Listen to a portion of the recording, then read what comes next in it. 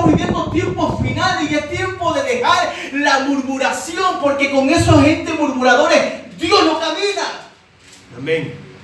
Y cuando hay murmuración en la iglesia no hay crecimiento, hay que dejar eso y comenzar a ponernos en las manos del Señor y dejar que Él comience a, a limpiarnos y comenzar a hacer que esta iglesia realmente, cuando una iglesia, esta iglesia se someta, o cualquier iglesia se llega a someter a la presencia de Dios, téngalo por seguro que Dios dio una promesa que el diablo va a huir de usted, va a huir de mí, ¿me entiende? Ya yo no voy a huir de Él, sino que Él va a huir de mí. ¿Sabe por qué? Porque estoy sometido a la palabra y a la obediencia de su palabra que es de Dios.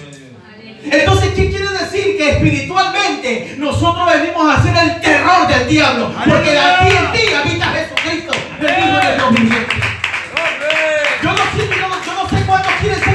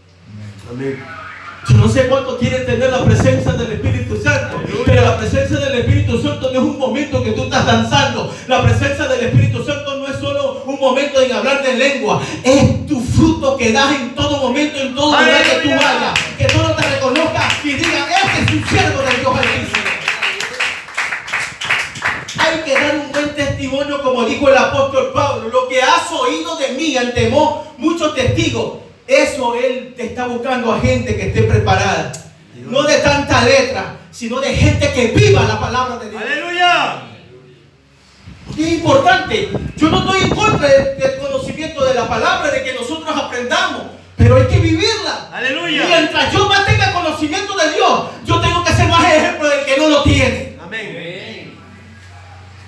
Porque hay que tener, pues, po- ponerla en práctica lo que tú estás viviendo. Dios no quiere gente huidores, sino gente hacedores de ella. Que la gente se dé cuenta, o, o- o no, o quizá no hemos olvidado cuando dice la escritura en Romano, en el capítulo 8, de, creo que del 14, 15 o 16 está escrito, que, que esta- este, esta- este mundo está esperando la manifestación de los hijos de Dios. Usted sabe lo que está diciendo, la manifestación de los hijos de Dios. Cuando yo estoy hablando de un hijo de Dios, estoy hablando de gente que tiene el Espíritu de Dios. Amén. Y cuando tiene el Espíritu de Dios, hay poder que viene de lo alto sobre tu vida. Y la gente va a ser sano. Porque no eres tú, sino el Señor. Es tiempo. Amén.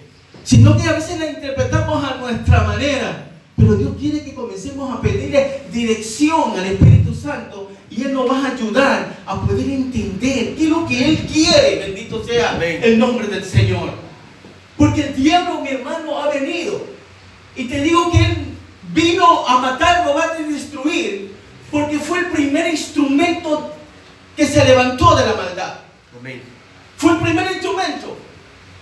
Por eso que la escritura dice que él ha venido a matar, robar y destruir, pero Cristo vino a dar vida y vida en abundancia. Amén. Pero algo muy interesante Jesús le dice pueblo, a sus discípulos, cuando los mandó de dos en dos a las aldeas y ellos venían contentos. Pero Jesús le dijo, miren, miren, tengo algo, una, una información para ustedes. Quiero decirles que yo vi a Satanás caer desde el cielo Amén. como un rayo. Está diciendo, tengan cuidado, revístanse de mi poder, sométanse a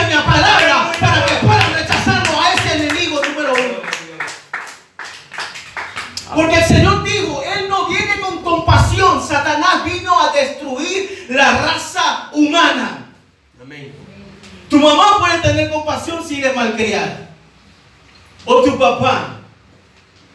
Pero el diablo no respeta a nadie. Amén. El diablo, aunque seas bonita, no le interesa tu belleza. Él quiere destruirte porque tú eres la imagen de Dios. Amén. Aleluya. Y cada uno, yo digo, Señor, yo me doy cuenta que cada uno que no se esfuerza, el diablo está destruyendo la imagen, pero nunca, Dios la- nunca el diablo va a destruir la imagen de Dios. Puede destruir lo que Él creó aquí en la tierra, pero a Él no hay quien lo destruya. Bendito sea el nombre del Señor. No hay quien. Aunque escuchaba un mensaje que, que cuando uno está, está mal, dice que uno, decía, decía una predicadora, estamos aniquilándolo al Espíritu Santo. Yo digo, aniquilar es matarlo. Y al Espíritu Santo no se lo mata. Yo lo recibo. Y a veces nos equivocamos, a veces como personas, predicadores, nos equivocamos. Y yo le digo, ¿cómo se puede aniquilar al Espíritu Santo? Terrible. Por eso uno tiene que estar atento a las palabras que uno está escuchando. Pero no, no, yo le digo esto, pero no para una crítica destructiva, sino para una crítica constructiva, de que como seres humanos a veces fallamos delante de Él. Pero hay que pedirle a Él cada día, de lo que hemos aprendido, que Él sea, que Él sea, que, que tome nuestro cuerpo, alma, espíritu, mente, todo, nuestra boca, y sea Él hablando a través de uno. Que yo no me pare ahí por el conocimiento que yo tengo, sino que yo me pare dirigido por el Espíritu Santo de Dios. Porque es el Espíritu Santo. Yo puedo saber muchas cosas, muchas cosas que he investigado, pero realmente yo no conozco tu, vida, no conozco qué es lo que ha hecho, pero el Espíritu de Dios escudriña lo, lo más profundo de la persona, aún lo más profundo de Dios, cuanto más a nosotros. Y como yo sé que lo sabe todo, yo le digo, Señor, dirígeme, porque tú eres el que sabe la necesidad de cada uno. Amén. Satanás vino con ese propósito, a matar, robar y destruir. Cuando Satanás está en el asunto, donde el diablo esté en un hogar, téngalo por seguro que donde el diablo pone su mano, todo se pudre, todo se echa a perder, todo se daña. Y si él está viviendo en un hogar, téngalo por seguro que su familia se va a destruir. Porque ese es el propósito del diablo, de destruir. Mas el propósito de Dios, bendito sea, es de venir a deshacer toda obra del diablo. Porque si Él trae destrucción, Cristo trae paz, vida eterna. Alabado sea el nombre del Señor. Trae su presencia. Trae ahí donde Él quiere habitar en tu casa. Y que tu casa sea una casa diferente a las demás. Aleluya. Someterse a Dios es algo muy importante. Someterse a Dios es tener una relación con Él. Y honestamente, el, tiempo que todo ese tiempo, si me pongo a contarle las grandezas y las maravillas que él hacía, realmente no, me, no, alcanza el tiempo. Pero le digo esto que en el, sometimiento a Dios, Dios comienza a utilizarte a ti. Comienza a llevarte a muchas partes. ¿Sabes por qué? Porque ya no eres tú, sino Dios. Amén. Pero también cuando Dios te está utilizando, y le digo esto porque él, me decía, di la palabra. Y me contentaba en escuchar lo que diga, di la palabra. Aleluya. Y yo veo una mujer, porque estuve ya por, por el recinto de, por la, por la provincia de Manaví, y llegaron como, como 40 iglesias de 40 pastores. Y estaba predicando. Y la predicación me era un aniversario y el aniversario comenzó como a las 2 de la mañana recién a predicar.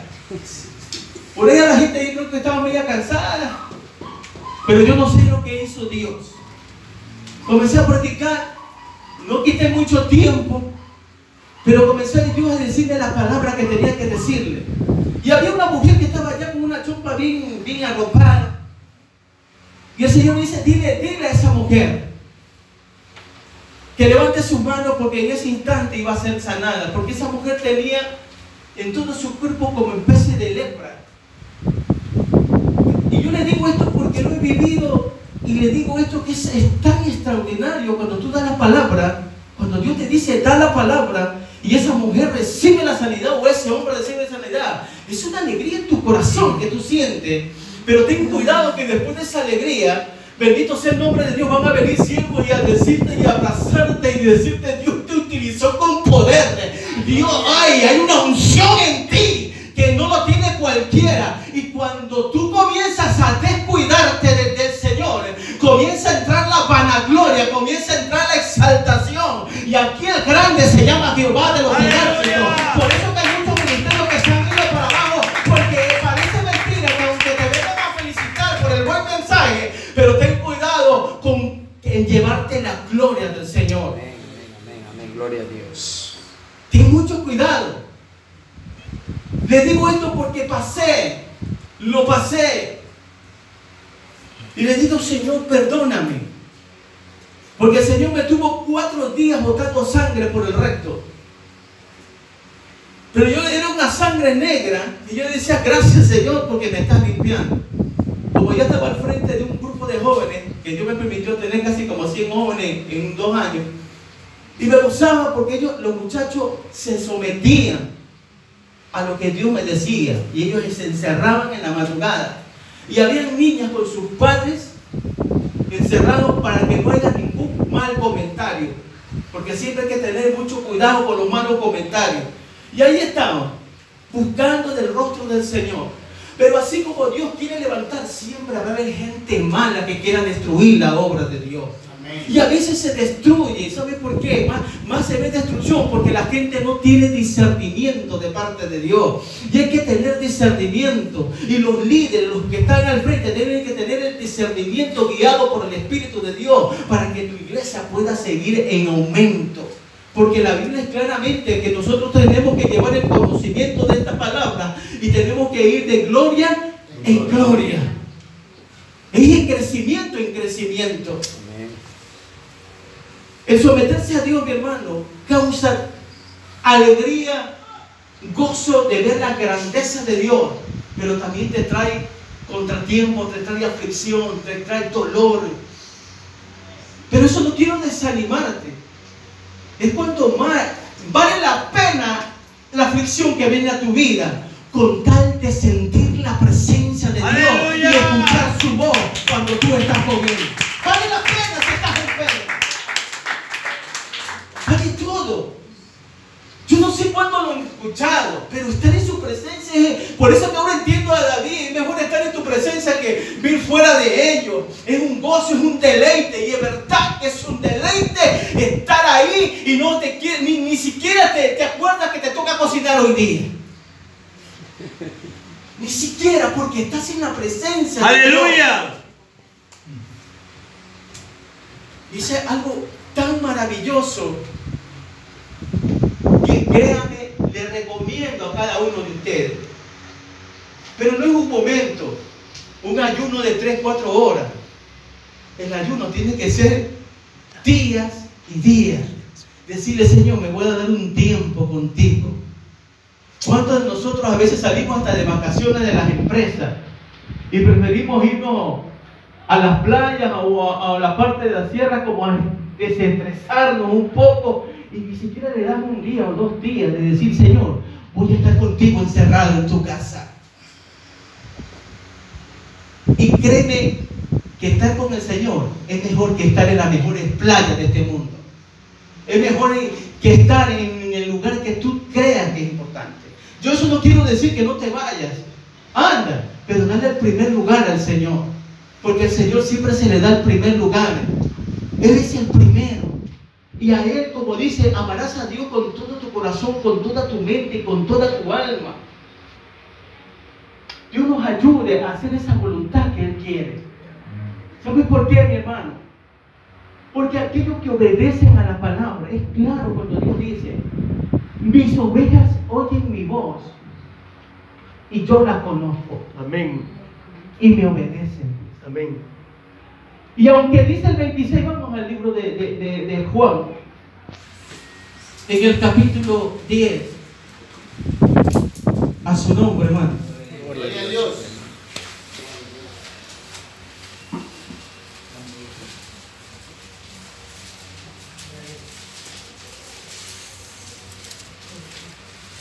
Dice la palabra del Señor, dice el 27, mis ovejas oyen mi voz y yo las conozco y me siguen. ¿Por qué le siguen? Cuando hablan de seguir y oyen su voz, es porque obedecen a la palabra de Dios. Amén. Y cuando usted obedece a la palabra de Dios, usted tiene la respuesta que está en el 28, cuando dice, y yo les doy vida eterna, y no perecerán jamás, ni nadie las arrebatará de mi mano. El buscar de la presencia de Dios te garantiza que Dios te dé vida eterna. Amén. Y nadie te va a tocar. Porque está escrito en la palabra, someteos pues a Dios y el diablo irá de ti. Ya cuando tú te, te, te entregas voluntaria, renuncias voluntariamente a tu, tu vida y permites la, la, dirección del Espíritu Santo, entonces ya no eres tú con tu fuerza, sino con la fuerza del Espíritu de Dios. Y eres más que vencedor, como dijo el apóstol Pablo. Es con la fuerza que el Espíritu Santo. Y Él es el que nos va a hacer ahuyentar al enemigo. Por eso dice, porque aquellos, como dice el, en el capítulo, en el versículo 26, dice,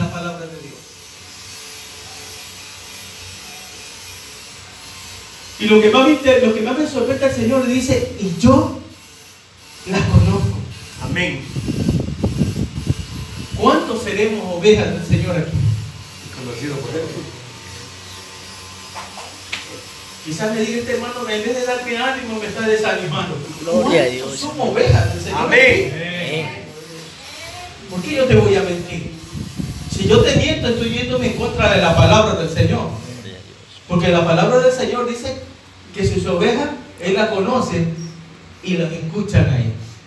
Le obedecen a Él. La siguen ahí. Y lo siguen. Amén. Y Él sigue buscando su rebaño. Amén. Que muy pronto lo viene Amén. a ver. Y créeme que ya está a la puerta el Señor. Como decía, y a veces no me gusta a mí publicar, pero es verdad. Profetizan, profetizan tantas cosas, prosperidad y tantas cosas que dicen, pero cada día se pone más difícil. Pero tengamos confianza que Dios es nuestro pastor Amén. y nada nos faltará. Amén. Jehová es nuestro Aleluya. pastor y nada nos va a faltar. Bendito sea el nombre del Señor. Él no nos va a abandonar, siempre va a estar con nosotros. Amén. El someterse a Dios cuesta mucho, mis hermanos. Cuesta dejar tantas cosas de lo que somos cada uno. ¿Cuántos somos vanidosos? Y la vanidad no es buena ante Dios.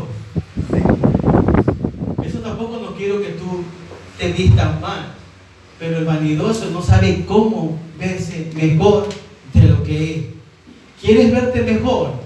Busca el rostro del Señor. ¡Aleluya! Y la luz de Jehová te va a iluminar. Su presencia es algo extraordinario. Y me gocé cuando estaba dormido y le digo, Señor, permíteme ver. Porque yo siempre me hacía la pregunta del fuego que la salsa ardía pero no se quemaba. Y cuando miré y alcancé a ver algo, qué precioso es. No es un fuego cualquiera como una candela que tú ves ahí. Es un fuego diferente. Algo hermoso. Que me gozaba y, y me, y me deleitaba en su presencia. No me sorprende porque todas las cosas y aún le dije a mi pastor y lo confirmó porque a veces van siendo y, y confirman. Yo me quedo callado cuando Dios me está diciendo y cuando ya no quieren escuchar a las personas y es problema de cada uno. Yo no les puedo obligar a nada. Amén. Esa es decisión de cada uno si lo quiere aceptar. Que yo le dije desde el año 2018 a mi pastor que la iglesia se iba a cerrar muy pronto. Y nuestra iglesia está cerrada hasta ahora. Todavía no la abren. Estamos orando, estamos a través de un programa Zoom, que estamos ahí entre alguna familia adorando y ahí siempre ahí están los mensajeros que predican y quieren sacar toditos los protocolos porque piden protocolos para poder abrir una iglesia.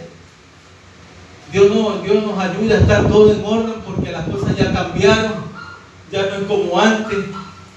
Ahorita ya estamos demasiada gente. En otras iglesias están separados, dice la, la- los que están ahí. Pero no te ten confianza que aquí no va a pasar nada. Amén. Dios está aquí con nosotros. Amén. Aleluya. Lo importante es que nosotros comenzamos rectificar nuestros errores y comenzar a buscar el rostro del Señor, porque es una obligación hacerlo, mis hermanos. Es tiempo. No perdamos el tiempo ya. Ya estamos viviendo los tiempos finales y es tiempo de que usted se ponga cuenta y yo me ponga cuenta con el Señor.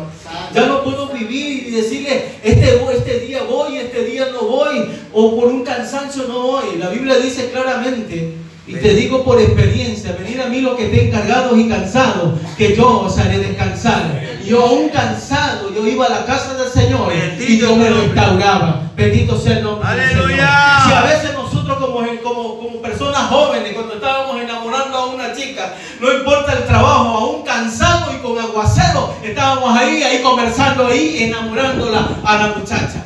Cuanto más a nosotros, cuanto más a Dios, a nuestro Dios, que tenemos que enamorarnos cada día de Él y que Él nos llene de su presencia. Amén.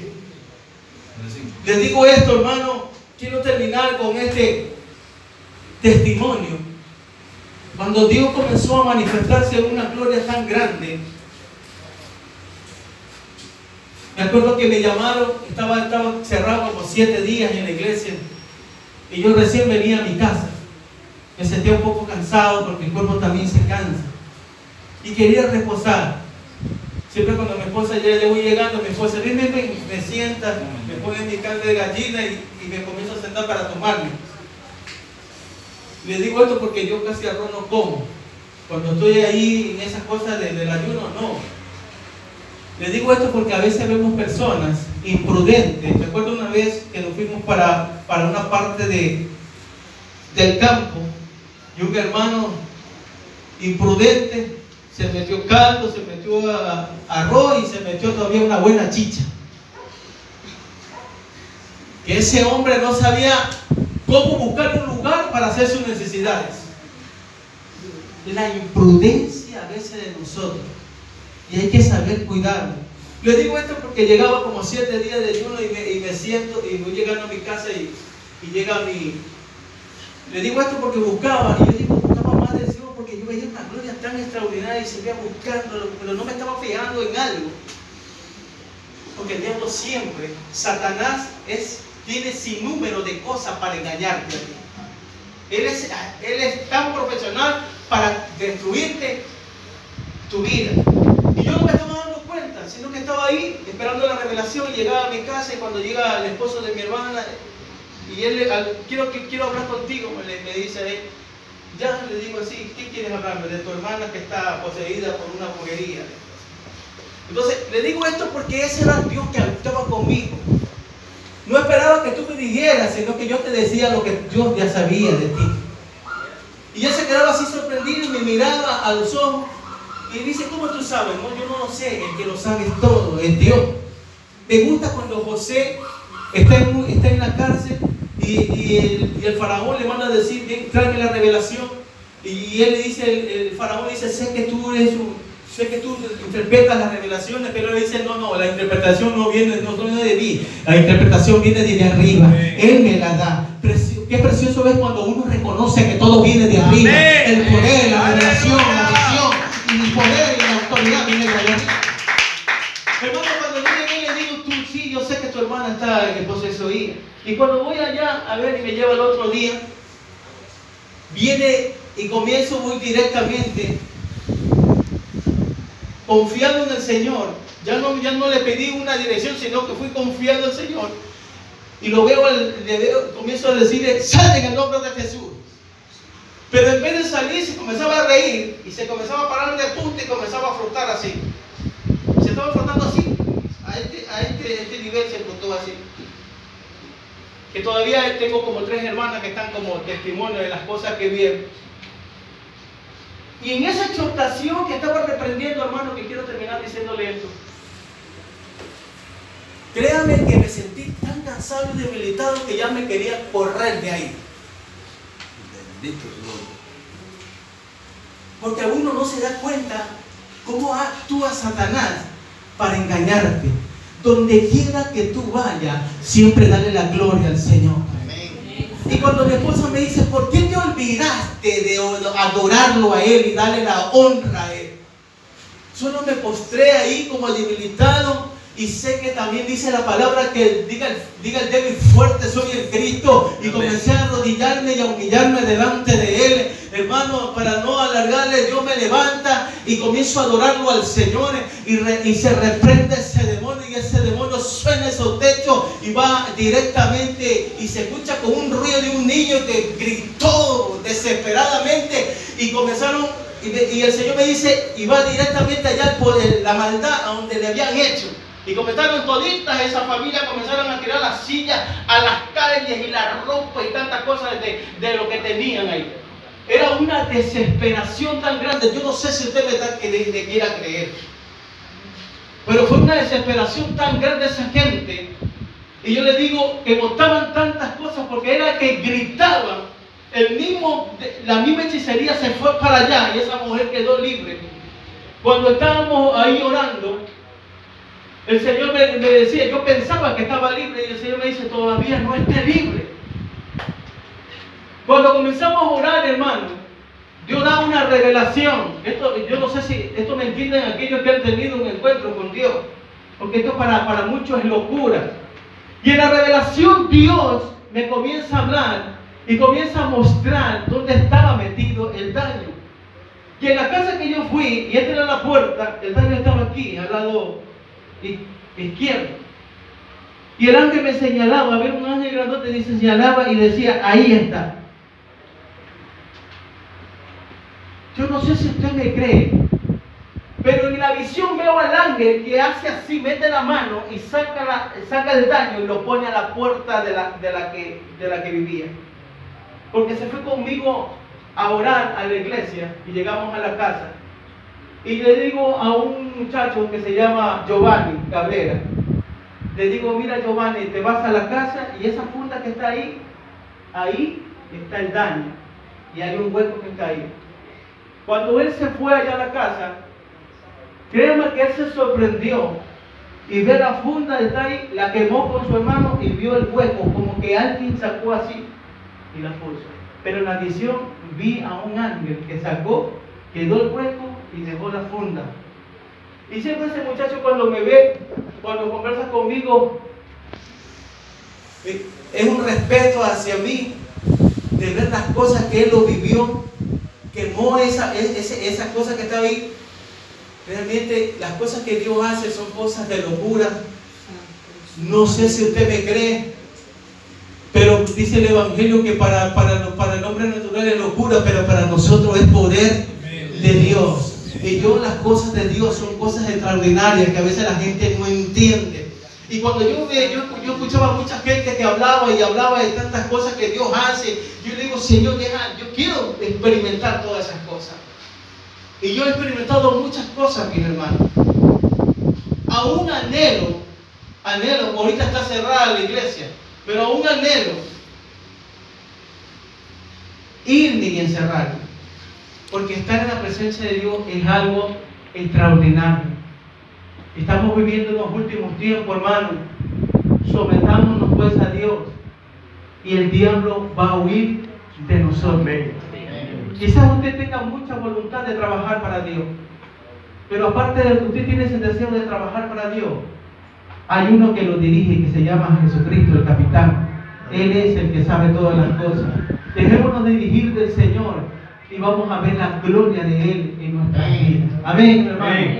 Dios me lo bendiga. Vamos a ponerse de pie y vamos a darle gracias a Dios.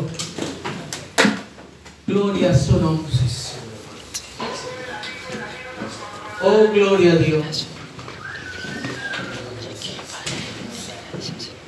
Levanten sus manos a los cielos.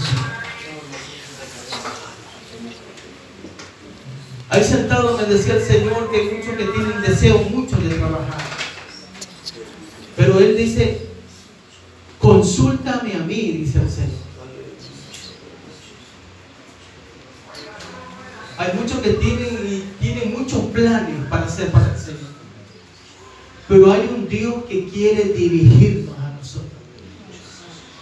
Y ese pueblo quiere Él. Oh, mi Dios amado. Espíritu Santo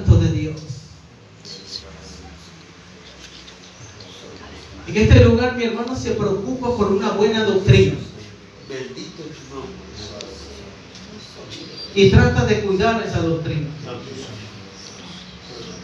Siempre se acerca a veces a, las hermanas, le dice, le aconseja que no es así. Que el Señor quiere esto de ellos. Siempre está aconsejando el Señor a las hermanas.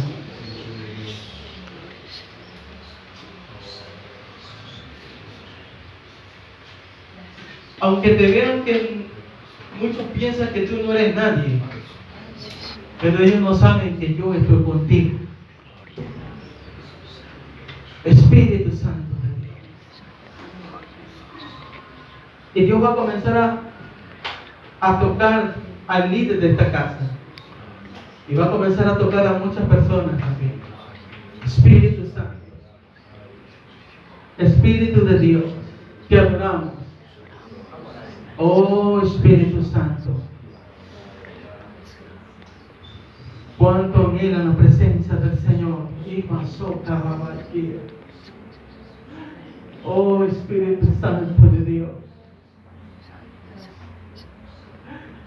Oh Espíritu Santo de Dios.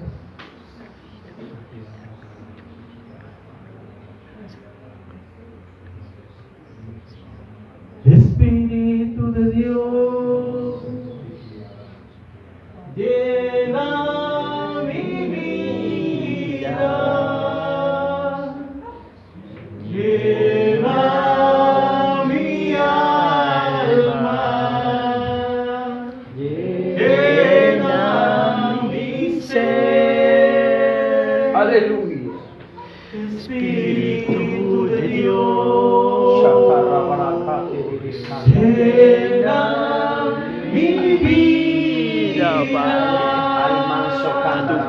pueblo,